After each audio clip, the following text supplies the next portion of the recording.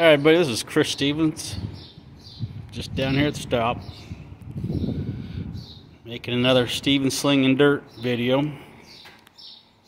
We just got the nose put on, as you can see. We're getting closer. Shop's still a bit of a mess. We do got the power plant in there. We're still waiting to, on the carburetor and a few other odds and ends. But we're getting closer. Can't wait. It's the, uh, what is this, the 3rd of July. So tomorrow's 4th of July. So, well, she's a little dirty.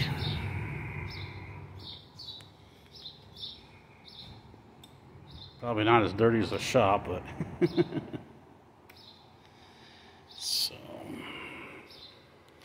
Yep, just down here in the shop on a Sunday. Been doing some tweaking on the front bumper. Hopefully we can keep it out of the dirt. Seems like we had that right front way down there where it was kind of plowing the dirt up. So, but yep, this is our power plant. We bought it in Eagle, Nebraska.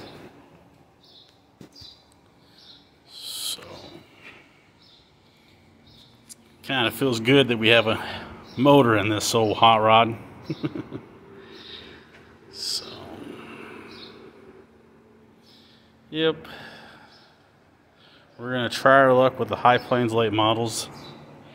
At, towards the end of this month, they got a race in Holyoke, Colorado, and then we got another race the day after in Fort Morgan. And then hopefully the following month we'll uh, Sorry, flies. We'll try the uh, Kansas track. I think it's Oberlin, Kansas. They got a two-day show. And then if all else goes good, good with everything, then we'll try to shoot for the uh, three-day show up there in Vegas with the High Plains.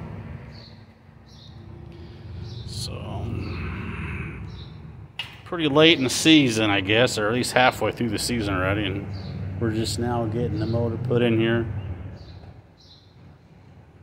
So, but we'll take you along the way. Like I said, if we don't shoot another video tomorrow, I wish everybody a happy 4th of July.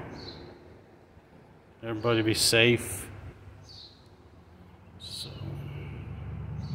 alrighty, stay tuned and we'll talk to you guys later. Make sure to like and subscribe.